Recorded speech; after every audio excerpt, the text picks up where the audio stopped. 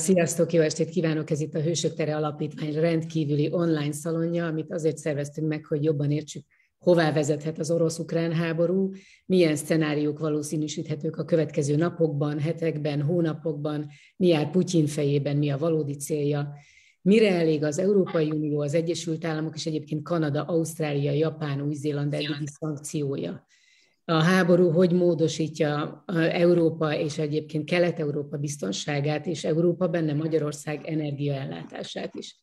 Többek között erről beszélgetünk Rácz András történésszel, politológussal, biztonságpolitikai jellemzővel. Szia András, jó, hogy itt vagy. A munkahelyeidet azt hiszem most nem sorolom föl, ha nem bánod és van, vagy lesz két meglepetés vendégünk, mondjuk mindig itt vannak velünk, de, de meg is fogom őket szólítani, Bölker Pétert, főleg gazdasági kérdésekben, és Orbán Krisztiánt várhatóan Kína ügyben. Most ezt tehetjük meg, már mint hogy szervezünk ilyen szalont, és ezt meg is tesszük. Két éve azt mondtuk, hogy majd a szalonokkal segítünk eligazodni ebben a feje tetejére fordult világban, és kapaszkodókat ígértünk, és remélem, hogy ezzel az estével is ezt adjuk majd nektek. Ez egy moderált beszélgetés lesz, kérdezni tudtok, azt leginkább, ha nektek is rendben van, akkor a cseten keresztül tegyétek meg, a kérdések eljutnak hozzám, de természetesen egy idő után megpróbáljuk kinyitni ezt a beszélgetést. És akkor András, ha nem bánod, vágjunk is bele. Az első kérdésem, hogy szerinted naív volt Európa, Amerika vagy a NATO, amikor hagyta, hogy így legyen? A kérdés, hogy szeretettel köszöntök mindenkit, és, és nagyon szépen köszönöm a meghívást.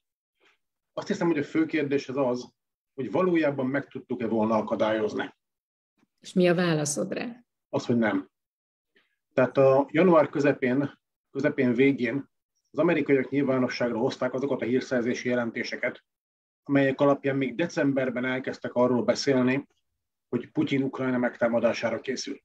Ezek hírszerzési jelentések döbbenetes pontossággal találták el, hogy január közepén hogyan lesznek az orosz csapatmozgások. Tényleg magasabb egység szintjén pontos volt, hogy melyik hadsereg, vagy melyik uh, dandár az pontosan hová fog menni. Tehát nagyon sok mindent tudtak a NATO szövetségesek. Nagyon sok mindent meg is osztottak egymással, meg Ukrajnával is. Uh-huh. De az, hogy Oroszországot ténylegesen el tudtuk volna rettenteni attól, hogy, uh, hogy megindítson egy ilyen támadást, ezzel kapcsolatban komoly kérdőjelek vannak benne. Uh-huh. És muszáj, hogy feltegyem a, talán a leglényegibb kérdést, hogy mit gondolsz arról, hogy mi valójában Putyinnak a célja? Mi a legfőbb célja? Hogy Ukrajna, vagy ez a háború, ez most egy eszköz, vagy egy cél? Szerintem ez a háború kezdettől fogva Ukrajnáról szól. Tehát a szakirodalomban és a nemzetközi politikában nagy vita van arról, hogy Ukrajna csak eszköz ahhoz, hogy a nemzetközi politikai helyzetben Oroszországnak, vagy Oroszország nemzetközi súlyát növeljék, és ugye aki emellett érvel, hogy Ukrajna csak eszköz és a cél az valami nagyobb, az felszokta hozni példaként azt a két javaslatot, amit Oroszország ugye benyújtott decemberben, arra, hogy milyen legyen az új európai biztonsági rendszer. Ugye egy javaslat ment az Egyesült Államokhoz, egy javaslat ment a NATO-hoz. Ez már önmagában pikáns, úgy próbálni tárgyalni az európai biztonsági rendszer, hogy Európát történetesen nem kérdezzük meg, de ennél sokkal több baj volt ezekkel a javaslatokkal. Most, ha valakit érdekel részletek, belemehetünk, bajok hmm. röviden. Két szöveg egyrészt egymásnak is ellentmondott, eszelősen rövid határidőt szabtak hozzá az oroszok. Tette téve mindezt ugye abban az időszakban, ugye december-január, hogy nyugati karácsony, új év, ortodox karácsony. Az orosz, különféle orosz csatornákon egymásnak ellentmondó üzenetek érkeztek, tehát nem volt koordinált az egész megközelítés. Eleve úgy Európáról megegy, megpróbálni megegyezni, hogy nem kérdezik meg Európát, az abszurd és hat tárgyalási fordulók alatt sem lassították a csapatmozgásokat. Most arra ez eléggé úgy tűnik, hogy ez a két rendezési javaslat, vagy állítólag úgymond rendezési javaslat az európai biztonsági rendszerről, ez csak elterelés és időnyerés volt. Ugye tegnap hajnal óta pontosan tudjuk, hogy, hogy valójában mire ment ki a játék. Úgyhogy szerintem a történet Ukrajnáról szól. A lényeges, tehát a, a stratégiai célok mostanra elég egyértelműen látszanak. Az első és legfontosabb az az, hogy kormány és hatalomváltást elérni Kievben. Ennek eszközeként tönkre kell verni az ukrán hadsereget, és el kell foglalni Kievet. Az kérdőjeles jelenállás szerint, hogy Oroszország vajon Ukrajna egészének elfoglalására törekszik-e. Jelenleg úgy tűnik, hogy talán nem, bár Ukrajna egész területét támadja, precíziós rakétákkal, robotrepülőgépekkel, messzehordó fegyverekkel. A harcokról majd, majd mutatok térképet. Az kérdőjeles tényleges, hogy Nyugat-Ukrajnát is megpróbálná megszerezni, a magyar szempontból külön kérdés, hogy Kárpátalját megpróbálná megszerezni, de ezek a, ez a három stratégiai cél ezzel a konkrét háborúval, tehát Ukrajnában a kormányváltás elérése, kormány és elnökváltás pontosabban, mert ez egy olyan rendszer, hogy erős elnöki hatalomban, ez kormány és elnökváltás, Kiev bevétele és az ukrán hadsereg katonai megsemmisítése. Körülbelül ez a három funkció. Miért gondolod azt, hogy, hogy nem, nem akarja egész Ukrajnát elfoglalni, miközben egész Ukrajna területét érik találatok, bombatalálatok? Ugye katonai értelemben muszáj egész Ukrajna területét támadnia, hiszen ugye az orosz erők északról, Belarus felől, illetve az orosz-ukrán határ teljes szakaszán hatolnak be, tehát észak, észak-kelet, kelet, illetve megszállt Krím felől. Ilyen értelemben Nyugat-Ukrajna az hátország. Természetesen muszáj a hátországban katonai célpontokat támadni, katonai logika szerint ez, ez, ez teljesen, teljesen értelmezhető. Viszont a fenti célokhoz, vagy az előbb felsorolt célokhoz nem nagyon látszik, hogy miért volna szükséges Nyugat-Ukrajna bevétele, ha Kiev bevételével ezeket a célokat el lehet érni. Tehát a Kiev, ha Kiev elfoglalásával megszűnik az ukrán ellenállás, nem tudjuk, akkor utána nem nagyon van ok arra, hogy tovább menjenek Nyugat-Ukrajna felé, annál is inkább, mert az szintén egy óriási nagyságú terület, ráadásul Nyugat-Ukrajnában sokkal nagyobb hagyománya van az alulról szerveződő militáns nacionalizmusnak és, és partizánharcnak. Ugye Nyugat-Ukrajna az a hely, ahol a második világháború után a Szovjetuniónak még közel egy évtizedbe kellett rendet teremtenie, pedig még ugye nehéz fegyvereket is bevetettek a nyugat után felkelők ellen. Nem hiszem, hogy Oroszország ezt magára akarná szabadítani, hogyha nem feltétlenül muszáj. Azt gondolom, az oroszok rugalmasan terveznek, ha Kiev bevételével elérik fentebb vázolt célokat, akkor Nyugat-Ukrajnával majd lesz valami. Kaphat egy autonómiát, vagy Kievbe kineveznek egy bábkormányt, szerintem ezt még ők sem döntötték el pontosan. Nem látszik az, hogy Nyugat-Ukrajna meghódítása elsődleges cél volna. Mm. A jelen helyzetben, ahol most tartunk, szerinted megakadályozható-e az, hogy, hogy, hogy az ukrán kormányt megbuktassa ez a háború, vagy nem megbuktatja, bocsánat, nem tudok jó szavakat találni rá, annyira fel vagyok emiatt zaklatva, de hogy, szóval, hogy, el, hogy ez úgy tűnik ez most, hogy ez nem történhet másként, mint ahogy Putyin szeretné most. Jól érzékeljük? A háború első 48 óra ez eléggé másképp megy egyébként.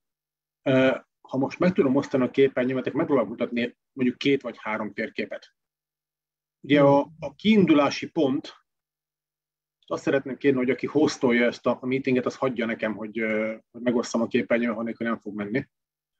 Igen, mindjárt. Jó, jó. Megkapod el. Most már meg tudod osztani a... Tökéletes, nagyon köszönöm. Innen fogok választani térképet.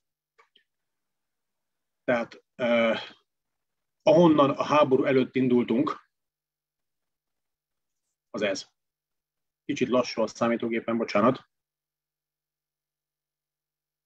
Tehát a háború előtt abból a helyzetből indultunk, hogy Ukrajna körül, ugye itt látszik az Ukrajna körül állomásozó orosz katonai magasabb egységek, ugye ez összesen 11 vagy 12 össz, összfegyvernemi hadsereg. András, összesen... csak nagyon piciben látjuk a térképet. Bocsánat, jó, akkor egy kicsit jobban látjátok. Most jobb egy kicsit? Én csak a te képernyődet látom. Nem igazán jó, oké. Okay. Uh, akkor ez nem fog menni. Talán a még egyszer rákapintasz, megpróbáljuk még egyszer? Jó, én szívesen megpróbálom. Most mit láttok? Most látjuk a térképet, remek. Most látjátok a térképet, nagyon jó, akkor ezt kell csinálnunk, ezt megtanultuk. Tehát ez a kiindulási helyzet, ez volt a háború előtti nap, tehát szerb, ez a szerda esti helyzet. Ez egy amerikai consulting cégtől van, tehát a copyright jogokat szempontjából szögezzük, hogy ezek ők, tehát ez az ő tudásuk. Uh-huh. Itt Ukrajna körül, beleértve Belarus területét is, 200 ezernél több orosz katona állomásodik, ezek első vonalbeli harcoló alakulatok. Ez az, az, ez az orosz szárazföldi haderő bevethető egységeinek 60-70 százaléka attól függ, hogy hogyan számolunk. Tehát ez őrületes erő. Ehhez hozzá kell adni az orosz nemzeti gárda, a Rosgvárdia, pontosan nem megállapítható számú, de sok ezer rendfenntartóját, őket megszálló feladatokba hozzák be, illetőleg, ami rossz hír, ebben a konfliktusban Belarus teljes értékű hadviselőfél. Valójában ez nem egy orosz-ukrán konfliktus, hanem egy orosz-belarusz Ukrajna ellen három oldalú konfliktus. A belarusz haderő az nem egyértelmű, hogy harcol-e, de az látszik, hogy Oroszország Belarus területéről támadja Ukrajnát, indít tüzérségi és rakéta és légicsapásokat, e, és a belarusz rendszer ezen nem tiltakozik, és a belarusz haderő teljes értékű logisztikai támogatást nyújt az orosz haderőnek. Ez a kettő önmagában is hadviselő félé teszi Belaruszt. Most ez az összesen több mint 200 ezer ember, és ehhez még hozzá kell számolni a belarusz hadsereget. Na ez zúdult rá Ukrajnára csütörtökön reggel, magyar idő szerint 4 órától. Ahol most tartunk, ugyanennek a consulting vállalatnak az, anyagai. Körülbelül úgy áll a helyzet, hogy itt a keleti főirányon, amíg szakadár területekről elő, előre nyomulás, illetve András, a egyenlőre, egyenlőre ugyanazt a térképet látjuk, mint... Nem, ez egy másik térkép szerintem. Én most nem, nem másik térkép? Jó, akkor megpróbáljuk cserélni. Jó. Share. Most lesz jó. Belejövünk, ez egy másik térkép elvileg. Igen. Ez egy másik térkép, ennél fogunk maradni, akkor nem variálok. Esetleg majd a kievi helyzetet még megmutatom, ha valakit érdekel. Az látszik, hogy 48 óra múltán itt ezt a három keleti frontszakaszt az ukránok tartják. Harkiv térségében az oroszoknak sikerült előre nyomulni, de Harkivot nem tudták bevenni, most Harkiv megkerülésével próbálkoznak. Ez egy 1,8 millió fős város, és elég keményen tartja magát. Valószínűleg inkább valamiféle bekerítés és gyűrű lesz belőle. Egy ekkora város nem lehet gyorsan megostromolni. Fönt északon, kicsit közelebb megyünk, ott van egy Sumi nevű település. Ezt, ez 24 óráig tartotta magát, ami egy 200-es várostól nem egy rossz teljesítmény, viszont Suminál áttörtek az orosz erők tegnap, és haladnak gyors ütemben e, ugye nyugat felé. Látható az a cél, hogy ezt a főútat elérjék, bezárják a gyűrűt Csednyigiv körül, és együtt vonuljanak Kievbe. Itt északon, Belarus oldalon Csernyigiv egészen sokáig tartotta magát, vagy tartja magát. Jelen tudásunk szerint, tehát most péntek este Csernyigiv még ukrán kézen van ez a város, viszont itt Belarusból áttörtek. Ugye itt, volt, itt van a Csernobili atomerőmű, nem azért foglalták el, mert bármi sanda szándékuk lenne az atomerőművel, vagy hát ugye a szarkofággal, hanem Reci útba esett. Tehát ez egy erdős, mocsaras vidék, olyan nagyon sok út nincsen, Csernobil ezek mentén van, őrizetlenül hagyni nyilván nem lehet, meg az se lehet, hogy működő ukrán haderő maradjon ott Csernobyl környékén, tehát igazából nem is volt más választás, mint elfoglalni. Tehát most péntek este az a helyzet, hogy Kiev körül, tehát Kievtől néhány kilométerre vannak az orosz páncélos erők, némelyik kievi külváros már elérték, de Kiev egy óriási város, tehát egy három és fél milliós nagyon nagy kiterjedési város. Tehát az, hogy a, amit a médiában megjelent, az orosz tankok már Kievben vannak, nem, valahol a Kiev külső táblánál, valahol valami városvégi tanyánál körülbelül. Volt egy orosz diverzás behatolási kísérlet Kievbe, ez okozott némi zavart, és volt egy kis szaladgálás belőle, de ezeket a diverzásokat aztán felszámolták. Kiev körül várhatóan nagy harc lesz a következő két-három napban. Szóval mielőtt ebbe belemegyünk, a helyzet igazán tragikus itt délen. Tehát a Krím felől az oroszok tegnap hajnalban eh, nyom nélkül megsemmisítették itt a de facto határt védő orosz katonákat és határőröket, és utána gyors ütemben, ez a Tavriai félsziget, ritkán lakott, apró falvas, ilyen sík, homokos talajú vidék, tehát páncélos gépesített hadviselés szempontjából ideális. Itt a Tavriai félszigeten villámgyorsan nyomultak előre, egy nap alatt elérték a Gyepert, ez úton haladva több mint 130 km. Tehát ez második világháborús kifejezéssel élve egészen klasszikus villámháború volt. Ukrajna próbált erősítést küldeni, ezeket menetben semmisítették meg. Ma még pontosan nem tudjuk, hogy, hogy pontosan tüzérséggel, légierővel vagy mivel, nem nagyon volt túlérő. Tehát most az a helyzet, most péntek este, hogy itt a Nyeper vonalánál állnak, Herszont az ukránok már keményen védik, itt a folyó is egy, egy komoly természetes határ. Az orosz cél itt is az, hogy megkerüljék Herszont, elérjék előtt Mikolajévet, majd pedig Ugyesszát. Ha ez sikerül, akkor Ukrajnát gyakorlatilag el lehet vágni Fekete-tengertől. Ezzel Ukrajna elveszíteni az egyik legfontosabb, az összes fontos kikötőjét és a Nikolajevi hajógyárakat is. Az ukrán külkereskedelemnek ez egy, ez egy nagyon súlyos csapás volna. Krími kitörésnek a másik iránya, de kelet felé bevették Melitopolt, és haladnak gyors ütemben tovább keleti irányba, Ugye itt a szakadár területek határán, ezen a térképen pont nem látszik, de ott egyetlen nagyobb város van még, ez Mariupol, körülbelül itt, ahova mutatok. Ez egy 450 ezer fős kikötőváros. Így, hogy Melitopol elesett, és jönnek tovább az orosz erők a partmentén keletre. Mariupol az utolsó, ami elválasztja az oroszokat attól, hogy Ukrajnát teljes egészében elvágják az Azovi tengertől is.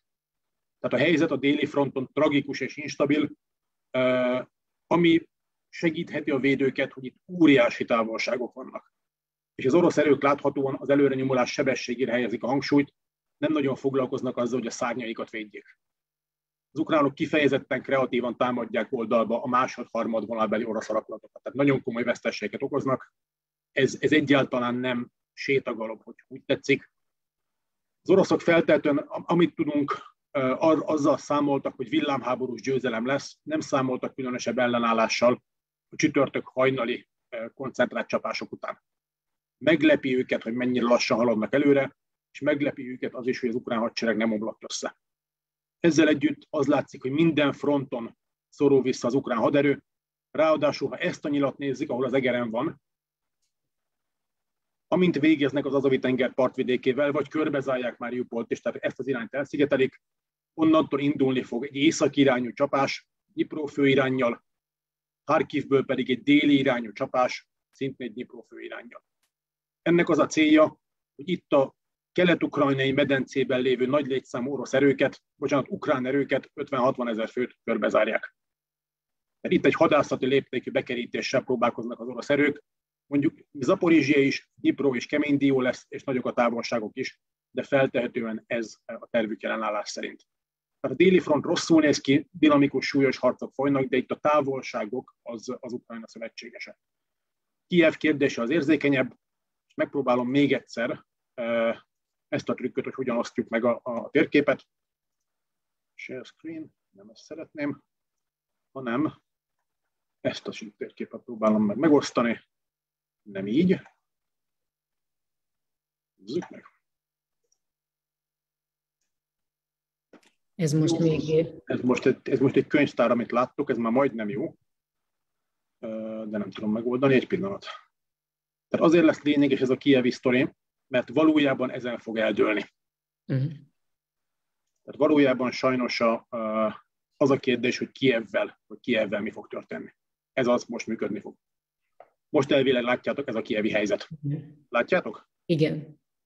Tehát a város körül, ugye itt, ahol az egeren van, nagyjából errefele van a belarusz határ. Uh-huh. Itt áttörtek, itt az Antonov repülőtérnél nagyon kemény harcok folytak tegnap, az ukránok tulajdonképpen lehozták, lehozták győztet győzelemre egészen addig. Az oroszok légideszant erőkkel próbálták elfoglalni. Estére Ukrajna visszafoglalta, de aztán beérkeztek a szárazföldi erők északról, mindentől nem lehetett megtartani. Tehát most itt Kiev külső védelmi vonal állnak, állnak az orosz páncélos gépesített alakulatok. Indult egy csapás ebből az irányból is, de itt az ukránok felrobbantották a hidakat, úgyhogy ott az orosz erők most állnak. Ezzel együtt, különösen akkor, hogyha Csernigivit elesik, illetőleg jobb felől mutatom, a Szumi felől beérkezik az erősítés, ugye kelet felől, akkor Kiev nagyon-nagyon nehéz helyzetbe fog kerülni. Az Egyesült Államok úgy számol, és ezek nyilvános információk, hogy a háború kezdetétől számítva Kiev 72-96 órán belül elesik, ebből most vagyunk körülbelül egy olyan 38-40. óránál. Egyelőre Kiev tartja magát, elegendő katonai erő is van, rengeteg önkéntes van, elegendő fegyver van. Tehát itt, itt nagyon nagy kérdés lesz az, hogy a kievi ukrán reguláris hadsereg, illetve az újonnan megszervezett területvédelmi zászlóaljak, ezek milyen szintű ellenállás lesznek képesek. Az eddigi tapasztalatok alapján, amiket Kelet-Ukrajnában látunk, Harkivben látunk, Csernyívben látunk, Szumiban is láttunk, ott nagyon keményen verekedtek, de hát ott, ott nem volt esélyük. Az ukránok kifejezetten hatékonyak és kreatívak városi harcban. Tehát van arra esély, hogy, hogy nem 48 órát vagy végeznek itt az orosz erők, vagy 56 órát, vagy amennyi hátra van. Van arra esély, hogy ezt a küzdelmet el tudják húzni, ez jelenleg még nyitott. Tehát ennek a háborúnak a sorsa rövid távon Kievben fog eldőlni. Tehát nagyon nagy kérdés az, hogy itt az orosz erők mire jutnak Kievvel, illetőleg a folyamatos rakéta és tüzérségi támadások meg tudják-e törni az ukrán lakosságot. További lehetséges töréspont, ha sikerül megsemmisíteni akár Zelenszky elnököt, akár az ukrán kormány szignifikáns részét. Ukrán információk szerint az oroszok próbálkoznak vele, egyébként beleillene abba, amit arról tudunk, hogy Oroszország hogyan háborúzik. Az orosz katonai logikának integráns része az ellenséges katonai, gazdasági, politikai felsővezetés megsemmisítése. Azt érted ez alatt, hogy Zelenszkit nem lemondatni akarják, hanem likvidálni? Természetes, persze. Az is egy megoldás. A problémájukat megoldja. Hmm. Ugye az orosz katonai hírszerzést, ugye a régen GRU, most már csak GU, Hlavnoi Upravlényie, ugye a vezérkarnak a felderítési főcsoportfőnöksége, ezt annak idején azzal a célral hozták létre, az elsődleges célja az az, hogy háború esetén kiiktassa az ellenséges felsővezetést. Persze foglalkozik katonai felderítéssel, és ők delegálják a katonai atasikat, meg minden ilyesmit, de ezzel együtt a szervezet fő célja ez. Ha Oroszország totális háborút folytat, akkor ez a logika természetesen érvényesül. Ez nem olyan kérdés, hogy nekem nem az a dolgom, hogy erkölcsi döntéseket hozzak, hogy valami jó vagy rossz. Nekem az a dolgom, hogy bizonyos dolgokat tudjak arról, hogy, hogy Oroszország hogyan háborúzik.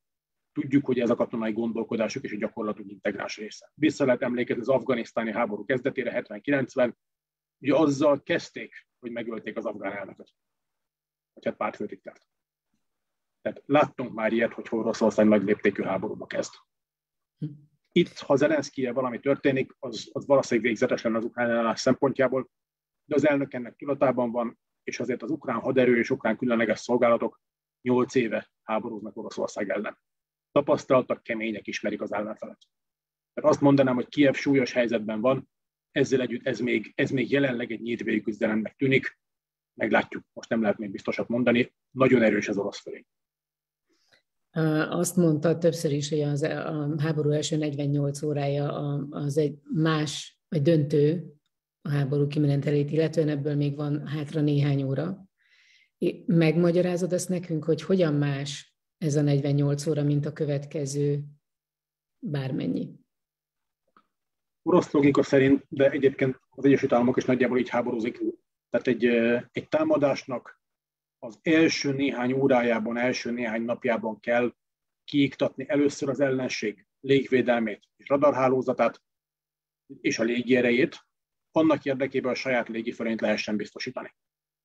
Ki kell iktatni a vezetési és irányítási rendszert, hogy megbénítsuk a hadsereget, a központi vezetés ne tudjon az egységeknek parancsokat adni, ne lehessen irányítani a katonai egységeket. Ha ez megvan, onnantól az egymástól elszigetelt morálisan megtört vesztességeket szenvedett ellenséges egységeket már könnyebben föl lehet számolni. Ugye ez volt a helyzet például Irakban. A reguláris haderő veresége után viszont Irakban ugye pontosan tudjuk, hogy mi történt, sőt, hogy Afganisztánban is pontosan tudjuk, hogy mi történt. Ezzel együtt az orosz gondolkodás ebben meglehetősen sematikus. Mert itt az látszik, hogy a háború legelején megpróbálták szétlőni az összes ukrán repülőteret, radarállomást, légvédelmi központot, lőszerraktárakat például, és az is látszik, hogy nem értek el tökéletes eredményt. Tehát nem semmisült meg teljesen az ukrán légierő, sok gépük megsemmisült, de még a ma délután is egy ukrán vadászrepülőgép le tudott lőni egy, egy orosz csatagépet. Ma, ma, a mai nap folyamán Ukrajna ballisztikus rakétákkal tudott lőni egy orosz repülőteret, ahonnan orosz uh, katonai repülőgépek szálltak fel és támadták Ukrajnát. Mm.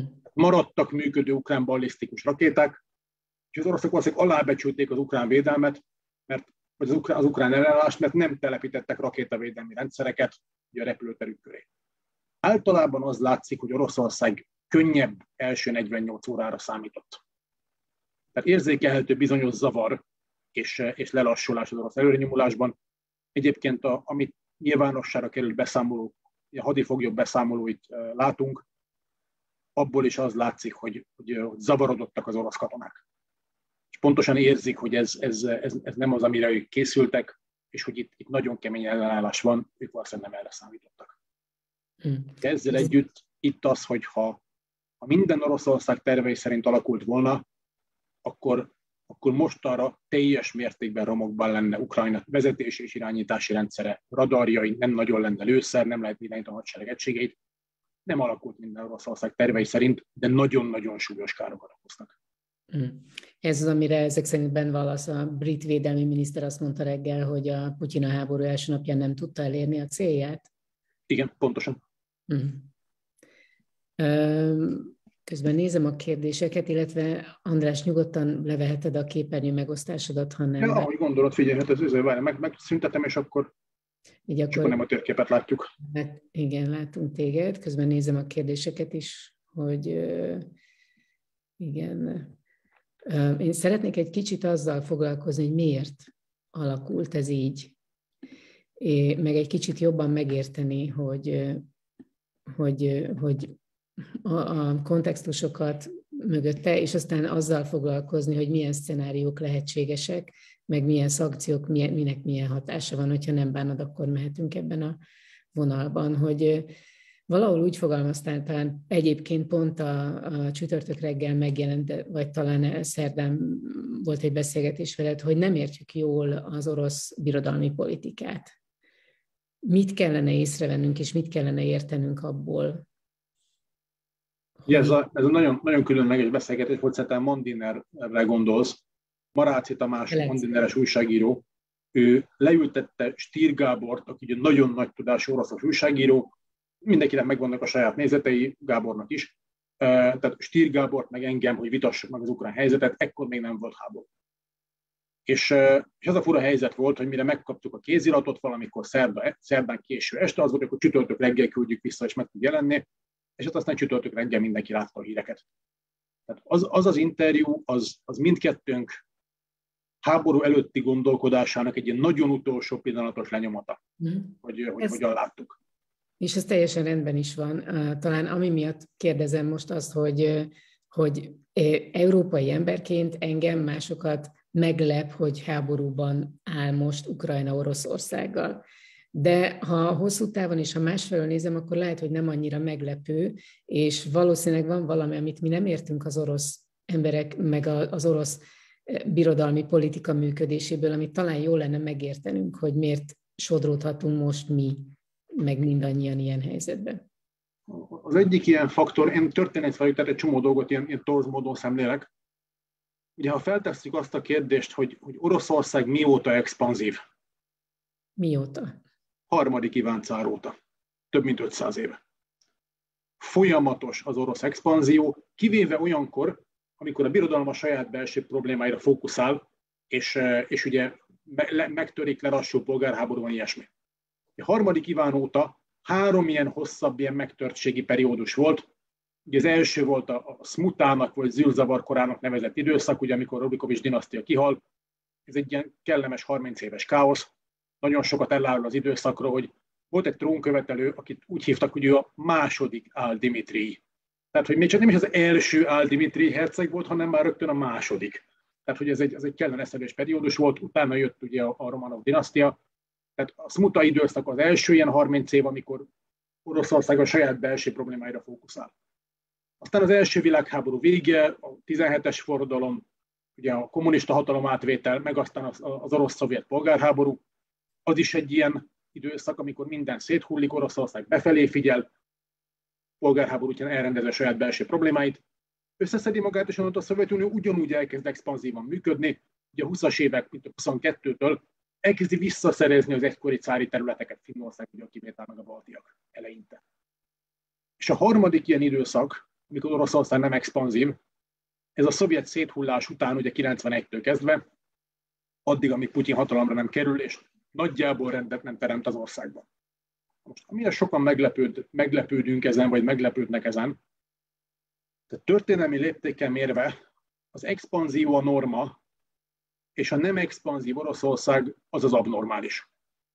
Tehát ugye, expanzív Oroszország, úgy, ha az éveket számoljuk, sokkal több van. De nagyon sokan a döntéshozóink közül 90-es években szocializálódtak, vagy a 90-es években kezdték el a politikai karrierjüket, amikor Oroszország éppen nem volt expanzív. Persze, hogy nem volt, hiperinfláció, éppen széthullik a szovjet birodalom, majdnem elmegy Csecsenföld, tehát két véres háborúba kerül, hogy egyben lehessen tartani az Oroszországi Föderációt. A Csecsen konfliktus erről szólt.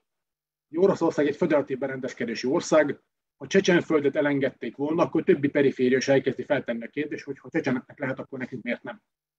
Ezért ért meg Jelcini vezetésnek végtelen mennyiségű vért az, hogy Csecsenföldet a rendszeren belül tartsák. Tehát nagyon sokan a döntéshozóink közül a a 90-es évek Oroszországot, Oroszországet tekintik normának, mert mondjuk ez volt a saját politikai ébredésük kora, és úgy ezt az Oroszországot ismerték meg először. A történelmi léptékben ez a 90-es évek nem expanzív Oroszországa, ez az abnormalitás. És úgy egyébként mindez a szenvedés, amin az orosz lakosság a 90-es években keresztül ment, tehát a hiperinfláció, a, a birodalom széthullása, a felhalmozott vagyonok elértéktelenedése, a presztízs vesztesség, a szovjet létbiztonság széthullása is, tehát tényleg tragédia volt. A magyar 90-es évek se volt könnyű, de a konyarban nem volt ahhoz képest, amit az orosz lakosság átélt. Ez a 90-es évek, ami számunkra aranykor, mert lámlám Oroszország nem expanzív, ez nem csak az orosz lakosság, vagy nem csak az orosz elit, de az orosz lakosság számára abnormális időszak, amivel nem vágynak vissza. Tehát itt azt kell megérteni a döntéshozóinknak, hogy, hogy nem a jelcini Oroszország korát kell visszasírni.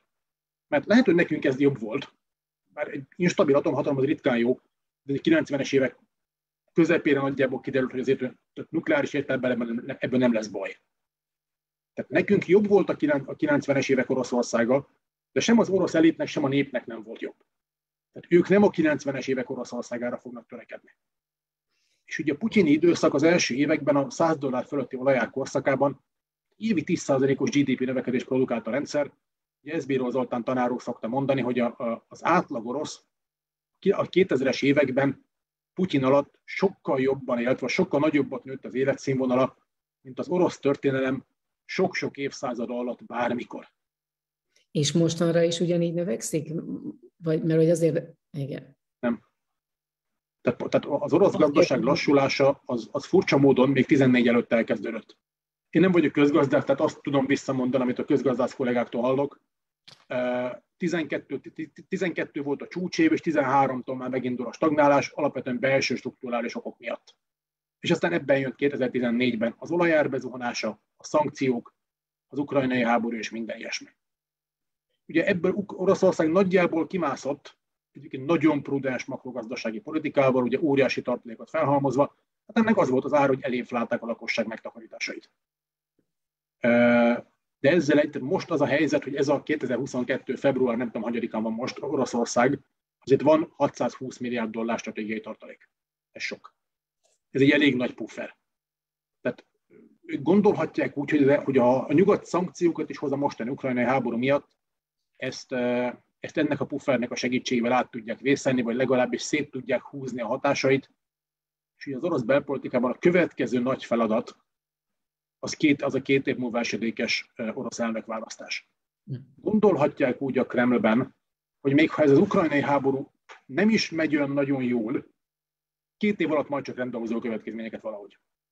Hmm. Tehát belpolitikai szempont, pláne úgy, hogy ugye múlt ősszel lement a Duma választás, ugye a parlamenti választás, ami garantált Putyin pártjának, még orosz lépték és abnormális csalások árán ugyan, de akkor is egy, egy alkotmányozó többséget. Innentől az alkotmányozó többség megvan, lehet folytatni a hatalmi átmenethez, lett legyen az bármilyen, lehet for, for, folytatni a hatalmi átmenethez szükséges alkotmányos változtatásokat, és ha az ukrajnai háború rosszul sikerül, akkor is van két év rendbe hozni. Ha pedig villámháborús győzelmet lehetne aratni, ugye az eredeti orosz terv valószínűleg ez, és nem tudjuk, hogy nem omlik össze az ukrán védelem a következő néhány napban. Tehát elképzelhető, hogy ez összejön Putyinnak. Ezt most pillanatnyilag péntek este nem tudjuk. Mm. Tehát ha ezt gyorsan végeznek, ha ez egy gyors, sikeres, most már csak relatíve vértelen háború lesz, akkor ebből Putyin még megerősödve is kijöhet. Mm. A beszélgetés elején azt mondtad, hogy szerinted ez, ez Ukrajnáról szól, és nem megy tovább ez a háború, miközben most meg azt mondod, hogy expanzió, és hogy Oroszország, az orosz biztonságpolitika, vagy a hatalompolitika az történelmileg expanzív, akkor mi arra a biztosíték, több kérdés is érkezett erre, és talán összefoglalva, hogy mi arra biztosíték, hogy ez a háború Ukrajna elfoglalása után nem megy tovább? Más az időkeret. Ez nem egy demokratikus ország, nem négy éves ciklusokban gondolkodik. És amikor demokráciával kísérletet, az általában nem sikerült jól mint birodalmi rendszer nem négy éves ciklusokban gondolkodik. Az orosz hódítás politika mindig úgy működik, tényleg vissza lehet nézni a cárokig. Ha valamit megszereznek, utána ráülnek. Stabilizálják, garantálják, hogy akkor az tényleg az övék legyen, nyalogatják a sebeiket, megerősödnek újra, és ha ez megvan, akkor mennek tovább. Oké, okay, akkor ez azt jelenti, hogy most Ukrajnáról szól a dolog, Igen. de később nem tudjuk. Hát később azt tudjuk, hogy a, a, a kör, NATO országokra nehezen tud szólni. Tehát a szövetség nagyon-nagyon sokat tanult és fejlődött 2014 óta, e, és nagyon valószínűtlennek tűnik, hogy Oroszország bevállalna egy, egy nyílt katonai konfliktust a NATO-val. Tehát én ezt a nagyon-nagyon alacsony valószínűségű forgatókönyvek közé sorolnám, még a legfelsőbb vezetés esetleges megőrülése esetén is. Tehát az orosz hadsereg, honvédelmi minisztérium és főképp a hadsereg az jól képzett, hidegfejű, professzionális katonákból áll, nem őrültekből. Hmm. Tehát e, NATO elleni háborúnak én nem nagyon látom esélyét. Tényleg nagy, tehát nulla valószínűségre teszem most pillanatilag. Ezen a ponton, ha feltételezik, hogy győznek Ukrajnában, az, hogy most mi a győzelem, az egy másik kérdés, de ha feltételezik, hogy Ukrajnát vissza tudják hajtani mondjuk orosz uralom vagy befolyás alá, akkor nézzünk körül a térségben, mi van hátra. Ugye Belarus 2020 az augusztusi választások óta szilárd orosz kézben van, ugye olyan szinten függésbe került, hogy az a Lukashenko, aki 1994 óta manőverezik, változó hatékonysággal ugyan, de manőverezik kelet és nyugat között, most arra, és ugye az ukrajnai háború fegyverszüneti tárgyalásai Minskben voltak, mert Belarus annyira el tudta játszani, hogy középen van. Ehhez képest most Belarus aktív hadviselő féllé vált. Tehát ez, a, ez egy olyan szuverenitás vesztés Moszkva szempontjában, ez egy annyira erős kontroll, hogy ott már nagyon sok tennivaló nincs. Grúziában van két szeparatista konfliktus, és egy, egy olyan politikai rendszer, ahol nagyon erős az orosz befolyás, Grúzia tulajdonképpen birodalmi léptéken nézve fogva van. Örményország eddig is Orosz, Oroszországtól függött a 2020-as Karabakhi vereség óta még inkább. Azerbajdzsán eleve nem fenyeget a veszély, hogy nyugatosodna, mert az azeri politikai rendszer ugye olyan, amilyen, olyan még a poszt-szovjet térségben is sikerült senki másnak, csak az Azerbajdzsánnak, hogy apáról fiúra szállt az elnöki hatalom. Tehát azért ez egy különleges mutatvány. Tehát attól nem kell félni, hogy Azerbajdzsán nyugatosodna, ráadásul de a 2020 őszi karabaki háború úgy zárult, hogy orosz békefenntartók kerültek Azerbajdzsánba. Elvileg öt éves mandátummal, de ez úgy van összerakva, hogy ha az öt év végén nem távoznak, bármire hivatkozva, akkor Azerbajdzsán nem tudna mit tenni. Mm. Tovább megyünk Közép-Ázsia felé, ugye Kazaksztánban most januárban láttuk az orosz beavatkozást, és hogy a Tokájev féle eliteknek ezzel a beavatkozással különösebb bajuk nem volt, sőt. Kirgizisztánban orosz bázis van, Tajikisztánban orosz bázis van, ez ugye egy nagyon, nagyon hatékony katonai befolyást eredményez. Üzbegisztán is függ, egy kicsit ez egy összetettebb probléma, de Üzbegisztán is erős függésben van. A türkmének az egy külön eset, mindig mindentől külön állt, de mondjuk nem, nem szomszédos Oroszországgal. És a pici gyenge Moldova, ott is van egy szeparatista konfliktus, ugye a transznisztriai konfliktus. Moldova Kisinau által uralt részén ugyan nyugodtbarát elnök és kormány van, de ezzel együtt, amit Transnistria ott van, addig Moldova nem lesz sem az EU, sem a NATO tagja, fel nem merül. Hm. Ilyen értelmet, hogy körülnézünk a régióban, akkor Ukrajna az utolsó nagy célpont, és egyben a legnagyobb. Amelyik nyugatot szeretne... Uh... Benne van az alkotmányban ráadásul. És ugye Zelenszky elnök úgy nyerte meg a választásokat, soha ilyen az ukrán történelemben korábban nem volt, hogy az elnök, és, a, és van egy valamilyen párthoz tartozó elnök, és ennek a pártnak egy magának többsége van az ukrán parlamentben. Tehát most sokkal koherensebb a parlament és az elnök viszonya, vagy a kormány a parlament és az elnök viszonya, mint az ukrán, 90 után ukrán történet bármikor. Tehát Zelenszky cselekvési szabadság az nagyobb, mint az elődei, és nyugodt felé akarja vinni az országot, és a közvéleménykutatások azt mutatják, hogy a nyugatos orientáció támogatottsága növekszik. Fontos, nagyon messze van a száz százaléktól. Tehát van a lakosságnak továbbra is egy szignifikáns része, ami középen állva képzelni el Ukrajnát.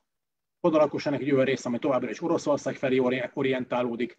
Ennek van egy földrajzi összetevő, meg egy generációs összetevője is, de, de van egy szignifikáns ilyen része a lakosságnak.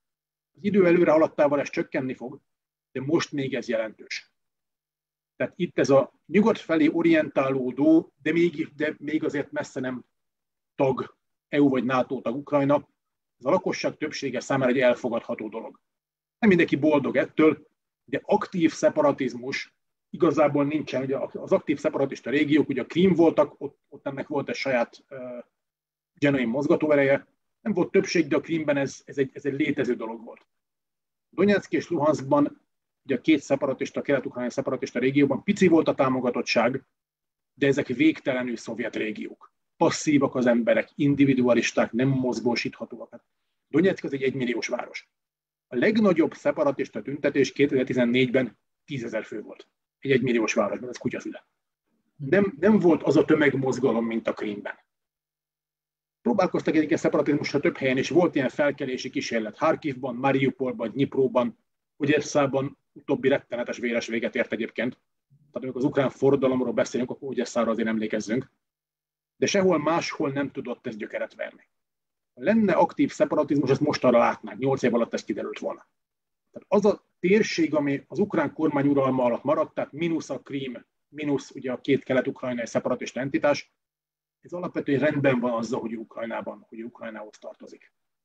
Tehát itt majd meglátjuk azt, hogyha az orosz haderő tényleg eléri a céljait, hogy, hogy lesz-e mögötte tömegtámogatás. Vagy a lakosság majd csak megúszásra, meg kibekkelésre játszik, vagy partizán háború lesz. De az, hogy aktív támogatottsága lenne annak, hogy éljen-éljen itt az orosz hadsereg csatlakozunk Oroszországhoz, nem tűnik valószínűleg, hogy ez bárhol többség lenne. Ezt elszálltam egyébként, mert uh, olvastam olyan híreket, hogy azért ő a hírek feltételezéseket, hogy ő azért arra számított, hogy ha, ha megérkezik Ukrajnába, akkor őt itt welcome. Szóval, hogy, hogy... Igen, ez nehéz.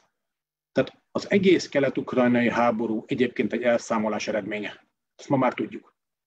A kelet-ukrajnai felkelés az úgy indul, Oroszország szítja, de tényleg ennek, ennek valamekkora helyi támogatottsága azért van. Pláne azért, mert ugye amikor Ukrajnában bekövetkezik a hatalomváltás 14 februárja, ez nem legitim, kedves kollégák. Tehát az ukrán alkotmány szabályozza, hogy hogyan lehet elmozdítani az elnököt, aztán az alkotmány 112. cikkeje, tehát le, le volt szabályozni, hogy az impeachment az hogyan működik, Janukovicsot nem így mozdították el. Ugye 14 februárja. 14. május 25-én megválasztják Petro Poroshenko elnököt Ukrajna történetének legdemokratikusabb választásával. Addig. De ez a február és május közötti időszak, ez egy eléggé exlex állapot. A parlament legitimitása ugyan töretlen, hiszen a parlament az megmarad, ez, akkor ez az előző parlament, amit majd 14. szeptemberben választanak újra. De ezzel együtt a végrehajtó hatalom legitimitása az, az, az nagyon erősen kérdőjeles. Amikor Oroszország arról beszél, hogy ez Goszpérjevarot, vagy pucs, államcsíny, ez azért nem teljesen téves. Ez a 14 februárjától májusig tartó időszak, ebben, ebben azért történtek durva dolgok. És ugye ezt az időszakot próbálta kihasználni a Kreml arra, hogy Kelet-Ukrajnában megpróbálja megismételni a krími forgatókönyvet. Eltelt nyolc év. Csomó dolog nyilvánosságra kerül, emberek beszélnek, előkerülnek dokumentumok, emberek megírják az emlékirataikat, ami nyilván egy szubjektív műfaj, de bizonyos információk vannak benne. Ma már tudjuk, ez körülbelül úgy zajlott, hogy a Konstantin Malofejev nevű oligarha meggyőzte Putyint, hogy Kelet-Ukrajnában meg lehet ismételni ugyanazt, mint a Krímben. De elég hamar kidőtten nem lehet, mert a lakosság nem vevő rá. Ráadásul Ukrajna megválasztotta az elnökét május 25-én, összeszedte magát, katonai ellentámadást indított, ez nem volt benne az orosz tervekben. A krímet úgy foglalják el, hogy egyetlen célzott lövést nem adnak az egész művelet alatt. Kelet-Ukrajnában viszont kiderül, a lakosság nem vevő rá, az ukrán hadsereg elkezd megtanulni harcolni, és ugye Oroszország folyamatosan változtatni kénytelen a terveit. A gyors és sima Krím 2 helyett van egy próbálkozás, hogy valamiféle Novorosszíja keretében egyesítsék az oroszok a területeket, de az oroszok a területek egy része erre nem vevő sem Harkiv nem vevő rá, sem Mariupol nem vevő rá, sem Dnipro nem vevő rá. Tehát a Novorosszia projekt is kútba esik két hónap alatt, mert kiderül, hogy a helyi lakosságot félreértették. A helyi lakosság nem azt akarta, amit a Kremben gondoltak róla, hogy akar. Novorosszia projekt kútba esik, és utána jöttnek el oda, hogy hát akkor a két kelet-ukrajnai kvázi köztársaság, hát legy, akkor csatlakozzanak Oroszországhoz, de nem, nem, nem, legyenek függetlenek, van egy ilyen szenárió, és akkor a Minszki fegyverszünet 15. szeptembere az állítja elő azt a helyzetet, ami tartott ugye most hétfőig, hogy ez a két terület, ez formálisan Ukrajna része, de Kiev ugye nem kontrollálja. Vegyük észre, néhány hónap alatt Oroszország négyszer volt kénytelen stratégiát váltani Kelet-Ukrajnában. Elhibázták, félreértették. Elemzői szempontból, politikusi szempontból egyébként az ellenfél hibáját nagyon nehéz előrejelezni. Az ellenfél racionális cselekvés, és sokkal könnyebb előrejezni, mert arra vagyunk szocializálva, hogy a másik racionális módon cselekszik. Nagyon nehéz arra felkészülni, hogyha valamit a másik félreért. És ami számunkra megmagyarázhatatlan ostobaságnak vagy hibának tűnik, arra a másik meg van győződve, hogy de, de, de ez jó ötlet. Egyáltalán nem tudjuk pontosan, hogy a mostani ukrajnai háborút Putyin milyen motivációk alapján döntött el. Hogy milyen információk alapján. Amit tudunk, és ezt ajánlom mindenkinek, nagyon szórakoztató gyakorlat, ugye most hétfőn jelentették be, hogy elismerik a két szeparatista területnek ezt a kvázi függetlenségét. Ugye volt a Nemzeti Biztonsági Tanácsnak egy kiterjesztett ülése, és azután volt egy sajtókonferencia. Én megnéztem ezt a sajtókonferenciát kétszer, egyszer hanggal, egyszer pedig hang nélkül. Csak figyelve a testbeszédet. Nagyon-nagyon tanulságos, döbbenetes látni. Úgy ülnek ott a biztonsági tanács tagjai, hogy mindenki feszeng, mindenki ideges, és láthatóan senki sem, senki sem magabiztos, vagy, vagy főleg boldog attól, amit éppen bekészülnek, vagy készülnek bejelenteni. Sok pontosan tudják, hogy ez egy, ez egy nagyon-nagyon ingatag elképzelés. De, de, de ez, ez, ez, ez Putyin személyes döntését, mert nincs, nincs egy kimutatható oligarchikus befolyás, mint Malofejev volt 14-ben. Itt ez az elnök és személyesen ő. Mm. A rendszer központosított jellegéből adódóan, hogy ennyire erős hatalmú elnök ennyire nyom valamit, akkor abból állami politika lesz. Körülbelül ez történik most. És hát ez történt akkor este is, hogy, hogy talán egy kicsit megmosolyogtatom már a helyzet egyáltalán nem mosolyogni való, de hogy átnyomta azt, amit szeretne, és láthatóan a, a, a zavart ö, ö, nemzetbiztonsági emberein keresztül vitte azt, amit ja, szeretne. Szegény Nariskin, igen. Igen, erre utaltam. Azt mondtad, hogy az, az ukrán emberek megtanultak harcolni, és megtanultak ügyesen utcai harcokat, szóval, hogy ügyesedtek ebben a harcban, és szemben áll velük egy 120 milliárd dolláros tartalék, meg egy orosz hadsereg. Mire elég ez az, hogy az ukránok megtanultak 8 év alatt így küzdeni? Valójában nem tudjuk, hogy megtanultak-e. Ugye azt mondtam, hogy a háború első két napjának az a tapasztalata, hogy meglepően ügyesek ebben. Uh-huh. Ugyanakkor van egy nagyon fontos faktor itt az eddig bevetett erő, az az elején mutatott, térképen mutatott több mint 200 ezer főnyi orosz haderőnek maximum 30-35 százaléka. Oroszország az erői legnagyobb részét még nem vetette be ebbe a küzdelembe, sem, tehát, az alak, tehát lehet nézni az alakulatokat, hogy ki merre mozog. És egy csomó alakulatot, ami a háború előtt ott volt, ott vannak a térképen, ezeket még egy olyan nem látjuk. Mm. Rengeteg alakulat még nem mozog, még nincs harcba vetve egyrészt. Másrészt nem csak alakulatok nincsenek harcba vetve, de kicsit olyan a helyzet, és ez Kievből érkező képek fényében nagyon, nagyon érzéketlennek tűnhet. De Oroszország egyelőre úgy tűnik, mintha önmérsékletet gyakorolna. A legpusztítóbb fegyverrendszereket egyelőre nem használják. Nem használnak kiterjedten nagy kaliberű rakétasorozatvedőket civil célpontok ellen, sőt az ukrán hadsereget sem lövik ilyenekkel. Ennek mi az oka szerinted? tehát van olyan nehéz tüzérségi eszközük, rakéta sorozat, mert ugye ez a Smerch, egyetlen rakéta futballpályányi területet planíroz le. Ezeket nem nagyon használják még egyelőre. Nem használják a lángszórós nehéz harckocsiaikat, ugye, vagy a nehéz lángszórós rendszereket, ez, ez, ez, ezek a TOSZ egyesek. Csomó eszközt nem vetnek be. Valószínűleg az az ok, azért gyakorolnak egyelőre önmérsékletet, mert az eredeti terv az az lehetett, hogy gyorsan, különösebb ellenállás nélkül bevonulnak, megdöntik Zelenszkit, és ahhoz, hogy valamiféle tömegtámogatottságuk legyen, ehhez nem jó, hogyha előtte tömegmészállást csinálsz. Tehát valószínűleg törekednek arra, hogy törekedtek legalábbis az első napban arra, hogy, hogy csak katonai célpontokat támadjanak, vagy döntően katonai célpontokat támadjanak, és inkább szétzavarják az ukrán hadsereget, ne pedig megsemmisítsék.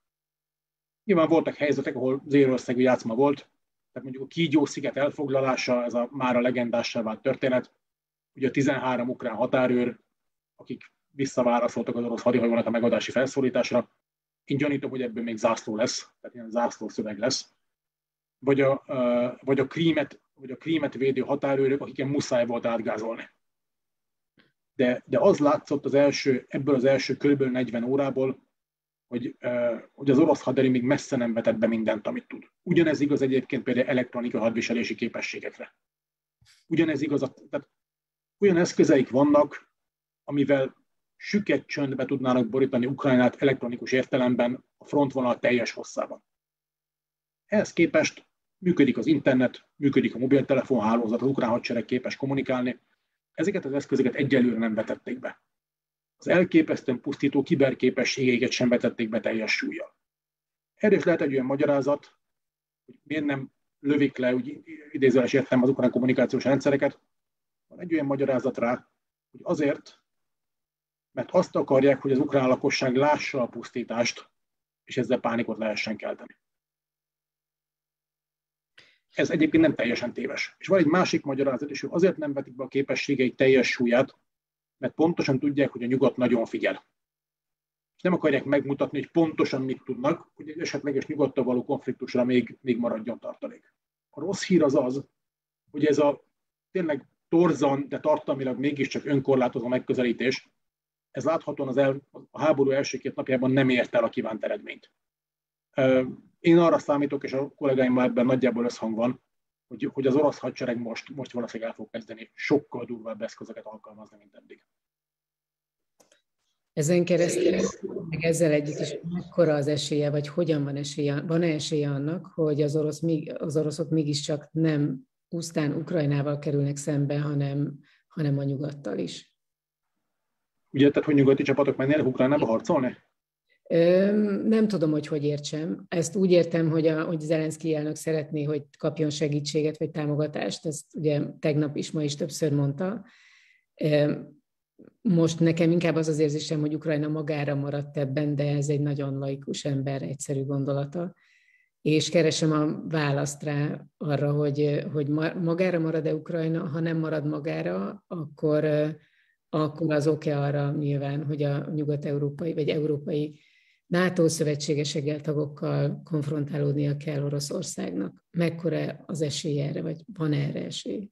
Ugye ezt a beszélgetést 7 órakor kezdtük, én utoljára előtte 5 órakor néztem híreket, mert utána két órát nem, hogy kicsit kiszellőztessem a fejemet.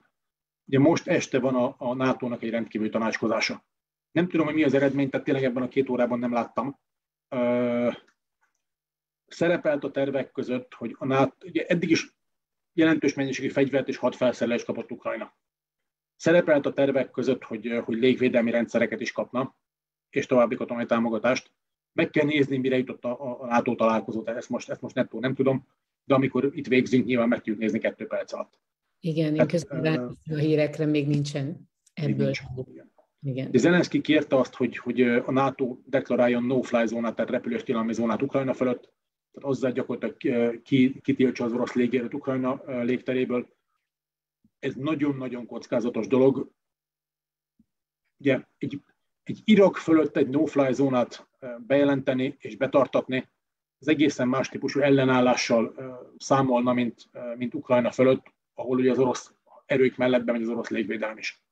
Nem tudom, hogy mi lesz a döntés, azt látom, hogy kockázatos, majd meglátjuk, hogy a szövetségesek hogyan döntenek. Azt továbbra is nagyon alacsony valószínűségnek tartom, hogy a NATO egészen kollektíven úgy döntene, hogy harcolóerőket küldnek Ukrajnába.